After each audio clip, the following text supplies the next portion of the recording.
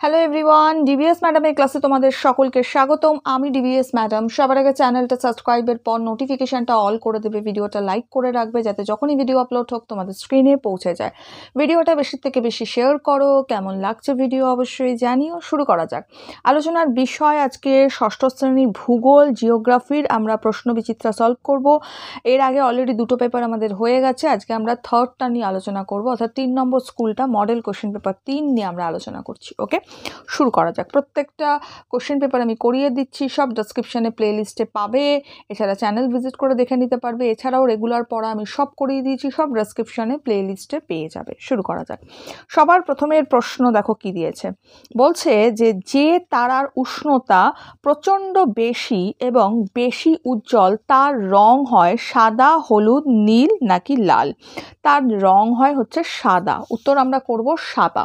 সঠিক উত্তর কিন্তু তিনটে করতে দিয়েছে, তিনটের জন্য তিন নম্বর আছে ওকে দেখতে পাচ্ছ, আশা করি। নেক্সট প্রশ্ন। নেক্সট প্রশ্ন বলেছে, পৃথিবীর আকৃতি গোলাকার ন্যাশপাতির মতো, কমলা লেবুর মতো, জিওজের মতো। সবাই আমরা জানি এটা জিওজের মতো হবে ওকে নেক্সট নেক্সট অর্থাৎ পৃথিবীর আকৃতি পৃথিবীর মতোই। নেক্সট বলেছে, ভারতের প্রমাণ দাঘিমা কলকাতা, এলাহাবাদ, পাটনা, দিল্লি শহরের উপর থেকে গেছে। এটা আমরা করব এলাহাবাদ শহরের উপর থেকে গেছে। নেক্সট প্রশ্ন। নেক্সট আমাদের শূন্যস্থান পূরণ দিয়েছে। চলো, শূন্যস্থান পূরণগুলো আমরা করে নেব। তো প্রথম প্রশ্নটা কি দিয়েছে? দেখো, বলেছে, ভারতের মূল ভূখণ্ডের দক্ষিণতম বিন্দু মানত ভারতের মূল ভূখণ্ডের দক্ষিণতম বিন্দু কি হবে? না কন্যা কুমারিকা। ঠিক আছে? কন্যা কুমারিকা করবে। ওকে নেক্সট বলেছে কি? সৌরজগতের বৃহত্তম উপগ্রহের নাম। সৌরজগতের বৃহত্তম উপগ্রহ কি লিখব? জ্ঞানী মিড। সৌরজগতের বৃহত্তম উপগ্রহ লিখব জ্ঞানীমিড ওকে, হয়ে গেল তাহলে দুটো শূন্যস্থান পূরণ। নেক্সট আমরা যাব।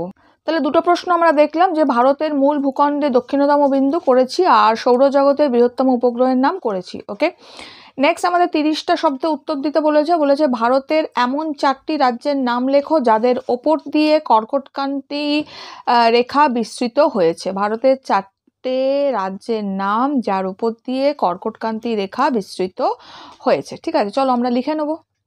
তাহলে আমরা লিখতে পারব ভারতের পশ্চিমবঙ্গ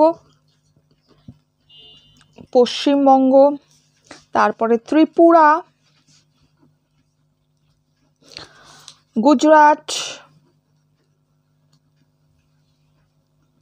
আর হচ্ছে মধ্যপ্রদেশ প্রদেশের ওপর দিয়ে কর্কট ক্রান্তি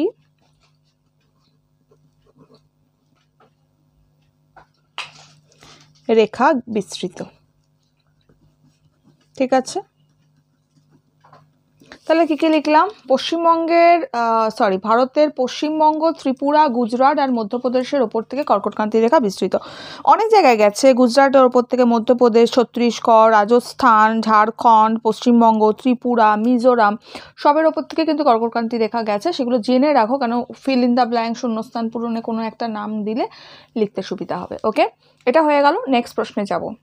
নেক্সট প্রশ্ন দেখো বলেছে কি, সৌরঝড় বলতে কি বোঝো অথবা গ্রহাণুপুঞ্জ ও উল্কা কি? চলো উত্তরটা লিখে নেব তাহলে সবার প্রথমে চারের প্রশ্নটা রয়েছে, সৌরঝড়টা আগে লিখব, সৌরঝড় বলতে কি বোঝো লিখব, সূর্যের ছটা মণ্ডল বা করোনা অঞ্চলে ছোট ছোট বিস্ফোরণ হলে প্রচুর পরিমাণে আয়নিত কণা, ব্যাকেটে ফোটন কণা দেবে, গ্যাস, রশ্মি বাইরের দিকে ছড়িয়ে পড়ে, যাকে সৌরঝড় বলে।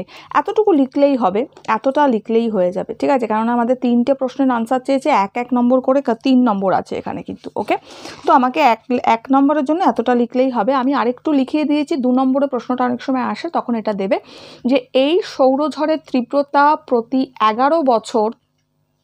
দেখে নিয়েছ? আমি পরের পেজ উল্টালাম কিন্তু। অন্তর বেশি হয়। বিজ্ঞানীদের ধারণা সৌরঝড়ের প্রভাবে পৃথিবীর কৃত্রিম উপগ্রহ যোগাযোগ ব্যবস্থা ক্ষতিগ্রস্ত হতে পারে। ঠিক আছে, দেখে নিয়েছ? নেক্সট প্রশ্নটায় চলে যাব। নেক্সট প্রশ্ন, ওরই সঙ্গে ছিল গ্রহাণুপুঞ্জ কাকে বলে? গ্রহাণুপুঞ্জটা লিখব, গ্রহের মতো ছোট ছোট জ্যোতিষ্ক নির্দিষ্ট কক্ষপথে সূর্যের চারিদিকে ঘোরে তাদের একত্রে গ্রহাণুপুঞ্জ বলে। সৌরজগতের মঙ্গল ও বৃহস্পতি হবে এটা। জাস্ট সেকেন্ড এটা কেটে দিই।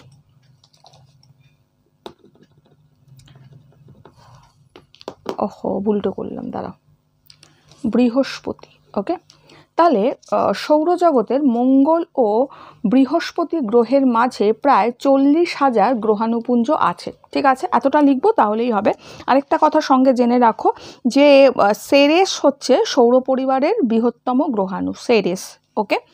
নেক্সট নেক্সট প্রশ্নে চলে যাব। নেক্সট সঙ্গে ছিল উল্কা। উল্কাটা আমরা লিখব হচ্ছে, ধূমকেতু গ্রহাণুপুঞ্জের ভাঙা টুকরো পৃথিবীর মাধ্যাকর্ষণের প্রভাবে প্রচণ্ড বেগে পৃথিবীর দিকে ছুটে আসার সময় বায়ুমণ্ডলে ঘষা লেগে জ্বলতে শুরু করে।